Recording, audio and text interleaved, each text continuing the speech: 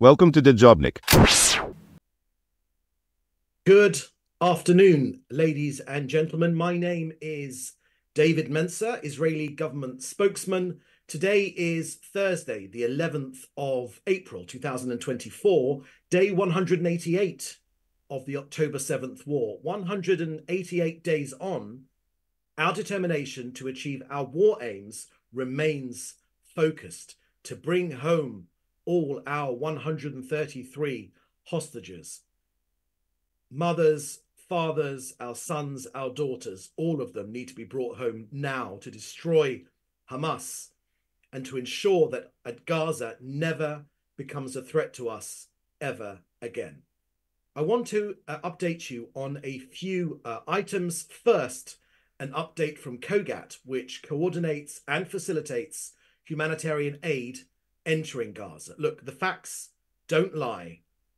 Our work to transfer hundreds of trucks containing food, medical supplies, and humanitarian aid to Gazans is growing and continuing at a pace. In six months, we have sent 22,000 trucks, more than 400,000 tons of aid, 3,961 food packages have been airdropped in 64 airdrops through Kerem Shalom and the Nitzana crossings. And now I can share with you that we are constructing a new crossing in northern Gaza to get more aid in where there are challenges in the north. The cabinet has agreed to these measures together with opening up the port of Ashdod to bring in aid. So, with the Jordanian crossings, uh, with a capacity of 50 trucks, we are working to bring the number of trucks up from 350 currently to 500 a day. That means more food, more water, and more medical supplies and shelter. Now to the latest figures in the last 24 hours. Yesterday, just yesterday, Wednesday, 298 humanitarian trucks went in, 353 food packages were airdropped, 28 trucks of humanitarian aid were sent to northern Gaza. So, by land, air, and sea, in accordance with international law, aid is getting in. On water, the IDF have repaired the Bani Suhala uh, water line. The line will serve more than 400,000 people. That's 400,000 people in central Gaza with an additional 42 litres of high quality water every single day. But of course, the UNRWA published figures will say otherwise. So even though over the last four days, 1,500 trucks, 1,500 trucks have gone in, the UNRWA dash- dashboard shows a much lower figure. Look, I think the world is slowly waking up to the UN's logistical failures. The latest ruse is that the UN only counts the trucks they pick up. Look, right now, there are 500 trucks worth of aid, 500 trucks worth of aid sitting and waiting on the Gazan side of Kerem, Kerem Shalom. 500 trucks worth of aid languishing in a parking lot waiting to be picked up by UN agencies. Look, it's long past time now for the UN to focus its energy on feeding Gazans rather than maligning Israel. I want to make this quite clear. We're saying to the UN, do your job, focus on distribution, and stop blaming Israel for your huge failures. And as usual, uh, the daily 2 a, 10 a.m. till 2 p.m. IDF humanitarian pause in Rafah will enable movement of humanitarian aid. Now I want to update you on the latest from the IDF's work to uproot Hamas from Gaza. In central Gaza, we began a precise intelligence based operation to target and eliminate terrorists using aircraft and the Navy we hit terror infrastructure above and below the ground. An armed terrorist who exited a terror tunnel next to our troops was eliminated together with launchers. Our Navy has been assisting our ground troops in the area. And lastly, to the north of Israel, our fighter jets are striking military compounds in Aita Ash Shab, in Khiam, in southern Lebanon, and in Nikura. So that's the end of the briefing today. I will now take your questions, which you should put in the chat uh, with your news outlet.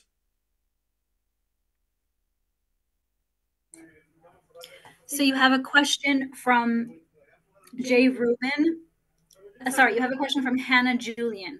Has Hamas provided Israel or Qatar, Egypt, or the U.S. any evidence as to the, whether the hostages are still alive? Thank, Thank you, you very much for that question, Hannah, uh, about the hostages and whether or not they are alive. Look, I, I think it's very important that we're dealing uh, to uh, to remember that we're dealing with a genocidal uh, terrorist um, organization. Uh, Hamas, of course, um, have many spokespeople. Not all of them are well connected, uh, so we should treat Hamas's comments extremely skeptically um, hostage negotiations are always sensitive and challenging, but we are committed. We know that the results of international pressure on Israel uh, are helping, actually helping Hamas. It's emboldening them and making them walk away. We want our people back as soon as possible. We know that dozens and dozens of them and dozens of them are alive, and we need them back. We need all of them back, all 133 of them back. So uh, with that, we'll go to the uh, next question, please. You have a question from Jim Williams of Zecher International News. He asks you, uh, this week, the Secretary of Defense Lloyd Austin testified before the U.S. Senate and told them that he saw no evidence that Israel was committing genocide in their war against Hamas. Does the PM think Austin's testimony will help get the truth out on the baseless claims of genocide? Thank you, Jim, uh, for that question. Uh, look, uh, uh we've dealt with this question of genocide so many times. Uh, ultimately, we uh, believe that the truth will come out. There is, of course, no such thing happening here. It's in Hamas's interest to play this libel and for it to be picked up. This is one of their key, um, the, the, the key tools in the armory of uh, Hamas to to uh, maximize the number of figures. But the figures uh, have been released on the sixth month uh, anniversary of this war, and they are quite clear. We know that 13,000 13, terrorists have been killed. Recording in progress. Uh, we know that about the uh, same number have been apprehended, arrested, um, injured, so taken off the battlefield. That's at least 26,000 people, which we've taken off of Hamas terrorists and Islamic Jihad as well, taken off the battlefield. Uh, I think when the dust settles, and I think this has been uh, uh said again and again, uh, uh, Secretary of State Austin said it, but also General Petraeus, and of course John uh, Spencer at the um, Urban Warfare Studies head at uh, West Point said the same thing that we have set the gold standard, the gold standard when it comes to minimizing um, the effect of our war against Hamas on civilians. Hamas, of course, are trying to maximize the number of civilian casualties, and we know that that's that's been their tactic. But it's very important for people not to fall for it. When the dust settles, it will be absolutely clear that we have killed the least number of civilians in any urban conflict ever in the history of armed warfare. Um, of course, every civilian casualty is a, uh, a tragedy, and but of course, none of this would have happened if the October 7th massacre um, uh, wouldn't have happened. So every civilian casualty, in fact, every casualty in this entire war uh, lands firmly at the feet of Hamas. Uh, any other questions? There's a question from the Washington Post. They ask, is the new Northern crossing that's opening in place of the Erez crossing? So, um, of course, the, the, the crossing at the north was a pedestrian uh, crossing. The Erez crossing at the north of Gaza was a pedestrian crossing, uh, which was uh, attacked and destroyed by Hamas on the uh, 7th of October. So we're talking about a crossing which will allow trucks through.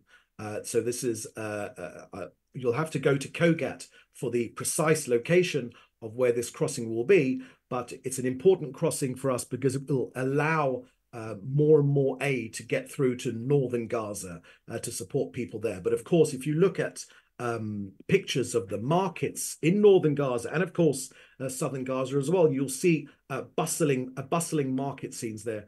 Food is getting through. Before this war, there are about 70 uh, food trucks, food trucks alone going into uh, Gaza. I told you that there were um, almost 400, almost, uh, sorry, almost 300 in the last 24 hours. And in the last four days, in the last four days, 1,500 uh, humanitarian aid trucks have gone in with food, with medicine, with shelter, uh, with with everything that um, people need. So uh, the supplies are going in. The challenge, of course, is uh, looting and stealing by Hamas.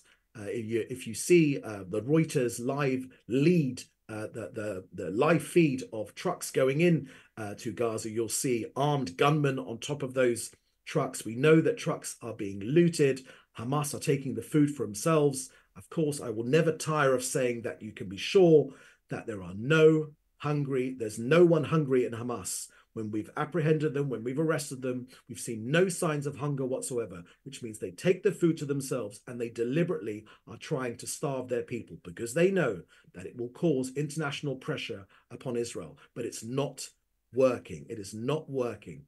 We're trying to stop the food being looted by by Hamas and get the food to as many people as needed. Next, Next question, please. There's a question from NPR. Yeah. According to Israel, there are 40 hostages who are over 50, women and children still alive being and women and children still alive being held in Gaza. Uh, thank you very much for that question from NPR. And you're asking me if the women and children, uh, women and children, are still alive.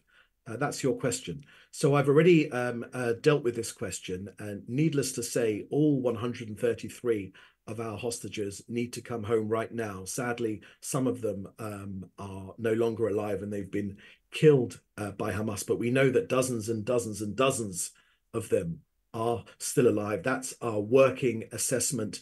For the families, it's an absolutely horrendous horrendous experience. Uh, six months now, six months been waiting for their for their loved ones to come to come home. You know, we're approaching the Jewish festival of Passover, which celebrates the children of Israel, children of Israel's uh, freedom from slavery uh, in Egypt.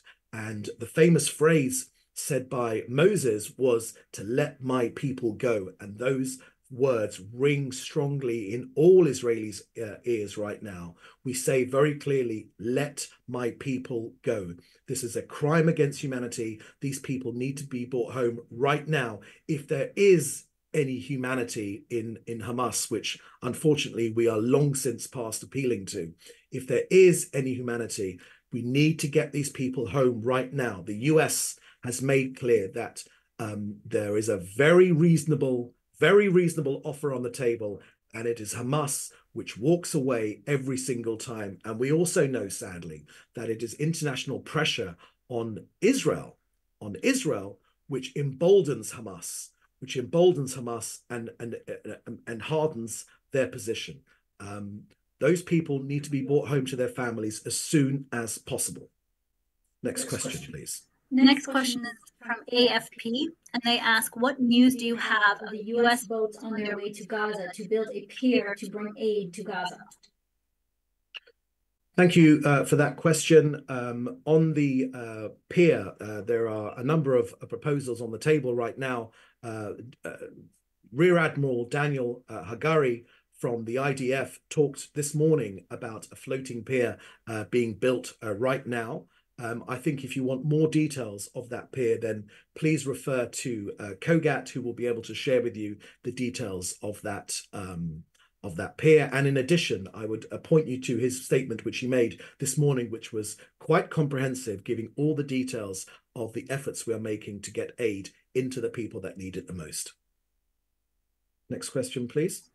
We have a second question from Hannah Julian, and she asked, uh, Israel has asked the U.S. to send messages to Iran in an effort to ameliorate its intent to attack Israel, either from, from its, its own territory or via proxies. Has there been, Has there been any response, response from Iran to these overtures? And if so, can you share what it was? Thank you for that question, uh, Hannah. Um, the Prime Minister this morning visited the Tel Nof uh, air base, uh, which operates F 15s. And he said, these are his words, and I quote, We are prepared for all scenarios in all sectors, defensively and offensively. Prime Minister went on to say that these are challenging times we're living in. We're in the midst of a war in Gaza, uh, which is continuing at full force, even as we are continuing our relentless efforts to return our hostages. However, we are prepared for all scenarios involving the challenges in all sectors. We have determined a very simple rule. Again, I'm quoting the Prime Minister here, and the Foreign Minister said the same thing yesterday. Whoever harms us, we will harm them.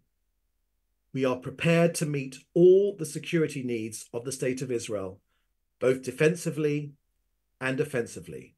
End quote. I hope that answers your question, uh, Hannah. Any Thank other you. questions? Thank, Thank you. There are no further questions today. Thank you very much. Uh, that's the end of our briefing today. There'll be another briefing on uh, Monday. Thank you very much. Stay safe and um, speak to you soon. Bye bye. Thanks for watching. Drop a comment below. Don't forget to like, share, and hit subscribe to stay updated with our latest content. Until next time, stay informed and inspired. This is DaJobnik signing off.